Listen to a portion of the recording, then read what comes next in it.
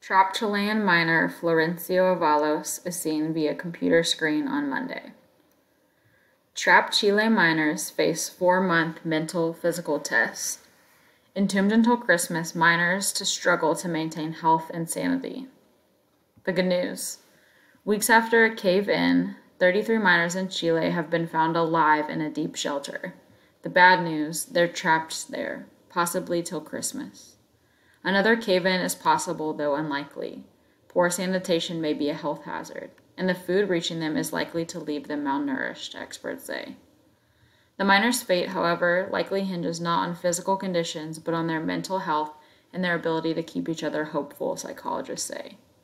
If the miners who are trapped can bond and work together to tick off the days they are separated from their families and friends, it would help them survive the ordeal said John Cacioppo, a psychologist who specializes in social isolation in humans and animals at the University of Chicago.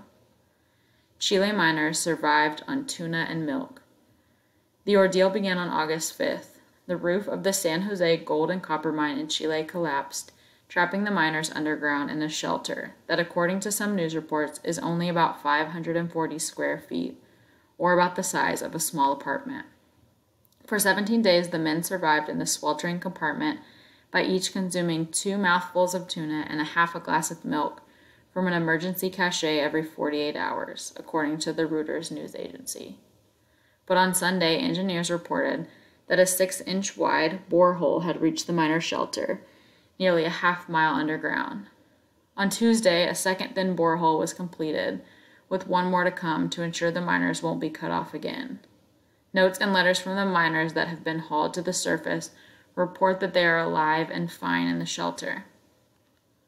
Miners to be malnourished. Water and food in the form of nutritional glucose gel packs have been lowered to the miners through the opening, and this should be enough to allow them to survive for several weeks, said Wayne Askew, a nutritionist at the University of Utah. For a three to four week time period, if they can get water and a glucose electrolyte solution down to these people, they're going to come out malnourished, but they're going to survive, Askew says. If a vitamin and mineral mixture and a liquid protein solution can be added to the miners' diets, that should be enough to prolong their survival until their rescue.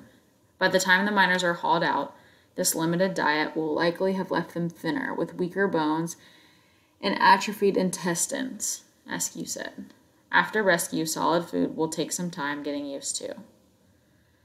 They're not going to be in very good shape and they're not going to be very happy, but it should work, Askew said. In addition to the cramped quarters and liquid diet, the Chile miners are cut off from sunlight and are using the batteries of a truck in the mine to power lights and charge their helmet lamps, according to Reuters. The chief of mine emergency operations for the U.S. Mine Safety and Health Administration. Feces threat for Chile miners. As the bore shaft is enlarged, rescue workers should be able to lower more substantial food down to the miners, Urosek says. With more food, though, sanitation could be a problem. Mine safety shelters in the U.S. typically have rudimentary waste disposal systems, but these can quickly become overwhelmed, said Urosek, who wasn't sure whether any plumbing is available in the San Jose mine shelter. With the Chilean miners likely trapped for months, alternative waste disposal methods will have to be developed to prevent sickness, Urosek said. The main danger is that fecal borne pathogens such as E. coli may be reingested and infect the upper gastrointestinal tract, he said. This can lead to diarrhea and even death. Feces, Urosek says, may have to be hauled to the surface, or rescue workers might lower bags or containers to isolate the waste within the shelter. Another option could be to keep the miners on a mostly liquid and low fiber diet to prevent the buildup of solid waste. If they're in an area with no provisions for waste disposal, it would be desirable to not be producing much, he said. Somebody needs to give some thought to that. More cave ins unlikely. Another cave in is among the least likely threat to afflict the miners, though it's always possible, MHSA's Urosek said. Engineers appear to be taking precautions to minimize any further risk to the miners. For example, the boring of a person sized hole with diamond tip drills is proceeding at a deliberately slow pace to avoid further destabilizing the rock layers, Urosek says. They have a lot of things to do, so I can see why it's taking long, he said. Psychological ordeal for miners. The long wait for rescue won't be easy for the miners, and it will be vital that they find ways to occupy their time and help each other remain optimistic, the University of Chicago's Cacioppo said. If they're a cohesive group and there's reason to think they can get out alive, they're likely to be fine, Cacioppo says. If they were not cohesive to start with, it would be worth trying to do something to build group cohesion. Rescue workers should try to give the miners simple tasks such as writing letters to their families, anything to help pass the time and stay connected to loved ones, he added. Give them a clock and calendar so they can standardize their lives. It's like a 120 day sentence, and it's not solitary confinement, so they can do it together. Antipathy is virulent. virulent.